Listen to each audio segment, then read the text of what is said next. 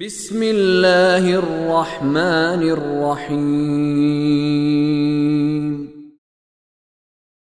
الذين يذكرون الله قياما وقعودا وعلى جنوبهم ويتفكرون ويتفكرون في خلق السماوات والأرض. ربنا ما خلقت هذا باطلا سبحانك فقنا عذاب النار. الذين يذكرون الله قياما وقعودا وعلى جنوبهم. وہ لوگ جو خدا کو یاد کرتے ہیں، یاد رکھتے ہیں، کھڑے ہوئے، بیٹھے ہوئے اور پہلوؤں کے بل لیٹے ہوئے۔ اس قدر ہوشیار۔ وَيَتَفَكَّرُونَ فِي خَلْقِ السَّمَاوَاتِ وَالْأَرْضِ۔ اور آسمانوں اور زمین کی خلقت میں غور و فکر کرتے ہیں اور ان کے منہ سے اس فکر کے نتیجے میں کیا جملہ نکلتا ہے؟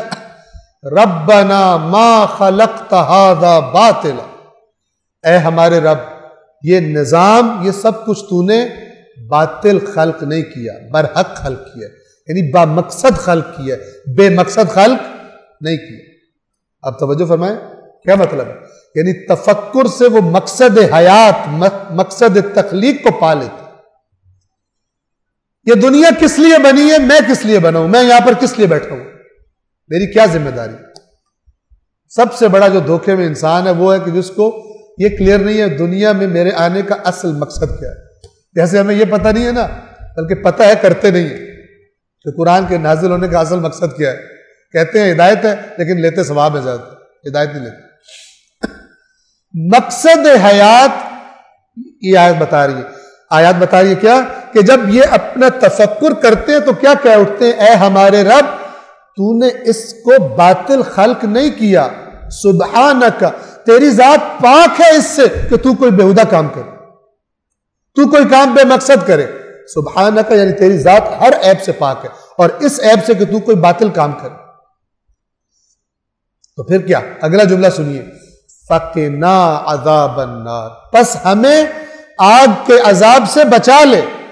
اب آپ اس آیت میں اگر غور کریں، کیا لنک ہے کہ تو نے باطل خلق نہیں کیا؟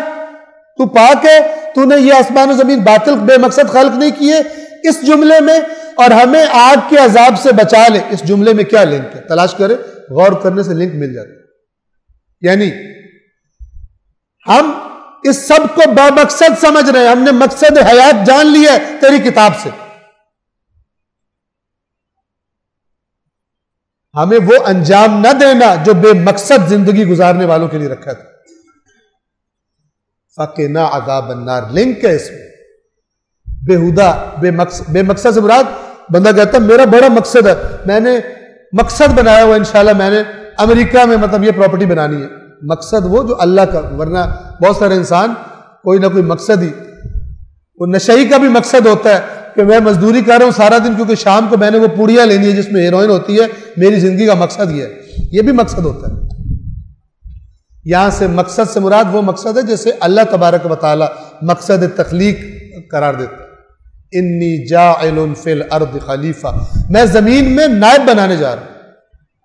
یعنی اس کو میں جو کہوں گا وہ کرے گا۔ البتہ اختیار ہے اس کے پاس۔ میں ایک ایسے کو زمین میں نائب بنا رہا ہوں کہ جس کے پاس میری ہدایت آئے گی، جو میں نے گائیڈنس دی ہوگی، اس کے مطابق چلے گا۔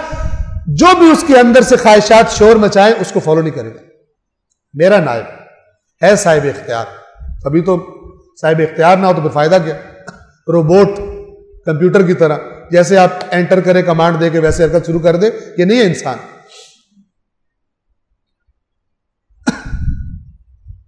ربنا ما خلقت هذا باطلا سبحانك فقنا عذاب النار۔ اے ہمارے رب تو نے اس کو باطل، یہ سب کچھ تو نے بے، انہوں نے ترجمہ کیا بے حکمت یعنی بے مقصد۔ تو نے پیدا نہیں کیا، فقنا عذاب النار، ہمیں آگ کے عذاب سے بچا لے۔ صدق اللہ العلی العظیم۔